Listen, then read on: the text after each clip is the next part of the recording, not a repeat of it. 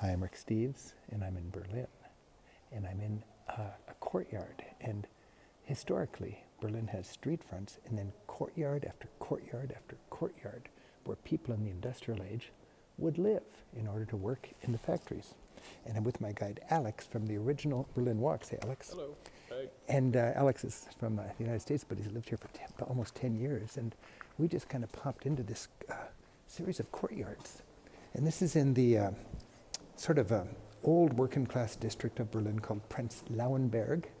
And uh, after communism, people just moved out of here and uh, squatters, hippies came in here, didn't they? Kind Very settled. often, yeah, uh, especially in this northern neighborhood, Prenzlauer Berg. Prenzlauer Berg. And today, even to this time, I suppose there's some issues about rent control and how much money do they want to spend to pretty this up. But uh, we've got some art in the garden, I think. Uh, but uh, the fun thing about this is you just get a sense of how behind the scenes in Berlin, we've still got this rough and tumble emerging sort of community.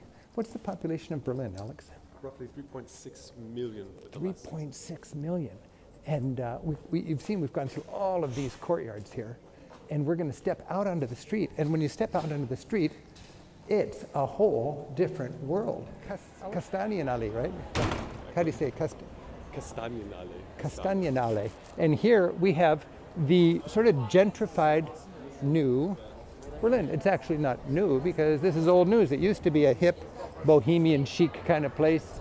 And today it's quite yuppie, isn't it? And gentrified. Uh, yuppie, yes. Yuppie, is that a German word? They have adopted the yuppie, yes. 100%. And uh, you've got all sorts of action in the streets.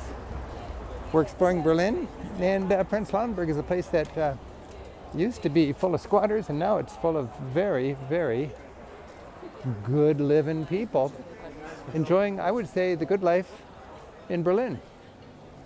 Happy travels.